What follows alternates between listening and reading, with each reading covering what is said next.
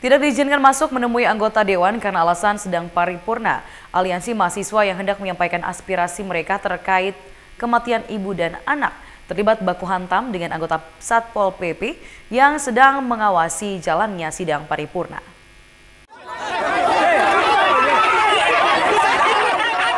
Aksi saling dorong yang berujung adu jotos ini terjadi ketika aliansi mahasiswa berusaha meringsek masuk menuju gedung DPRD Alor.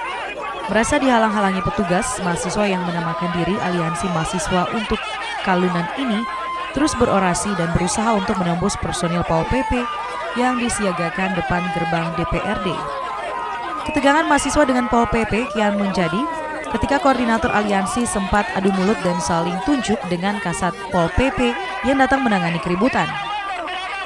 Alasan DPRD dan pemerintah sementara sidang paripurna menjadi penyebab aliansi mahasiswa tidak diizinkan untuk masuk menemui anggota DPRD. Namun mahasiswa tetap ngotot dengan alasan telah bersurat resmi ke DPRD itu sendiri dan mempunyai izin untuk melakukan aksi tersebut. Sebelum diizinkan masuk dan menemui anggota DPRD Alor, mahasiswa juga sempat menahan mobil sekda di gerbang DPRD. Mereka meminta agar pemerintah juga serius dalam menyikapi kasus ini. Karena sebelum mendatangi DPRD, aliansi sempat audiens dengan pemerintah, namun belum membuahkan hasil. Aksi ke gedung DPRD Alor oleh aliansi mahasiswa ini buntut dari penutupan pelayanan puskesmas Kalunan April lalu yang diduga mengakibatkan meninggalnya ibu Minse Pina Moyeni dengan bayinya saat dibawa ke rumah sakit umum daerah Kalabahi. Tragedi kematian ibu dan anak asal Kalunan ini memancing reaksi mahasiswa mendatangi DPRD. Mereka meminta untuk segera membentuk pansus untuk kasus ini dapat diungkap. Salah satu tuntutannya adalah membentuk pansus untuk uh, pansus, pansus DPRD.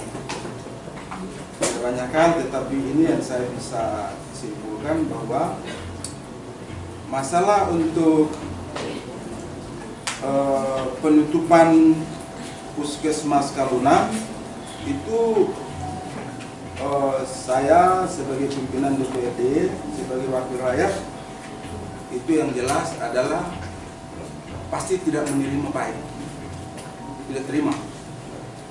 Karena apa? Alasan apa pun namanya sarana pelayanan kesehatan itu tidak boleh ditutup. Sepakat. Itu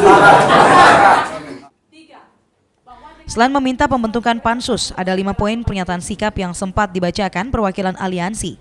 Mendesak pemerintah melalui DPRD untuk membentuk tim investigasi independen meminta PLT Bupati segera mengambil tindakan tegas dan penegakan disiplin terhadap ASN yang terlibat. Sebelum mendatangi DPRD, Aliansi juga mendatangi kantor Dinas Kesehatan dan kantor Bupati dan orasi di depan kantor.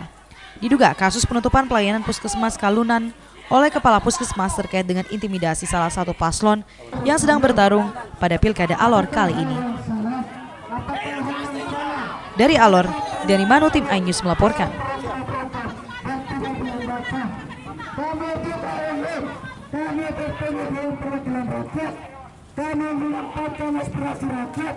Kami